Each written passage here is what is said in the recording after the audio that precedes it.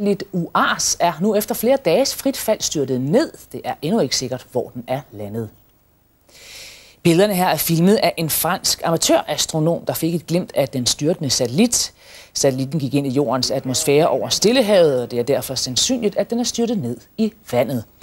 Risikoen for, at et menneske bliver ramt af en nedstyrtende satellit, er 1-22 millioner.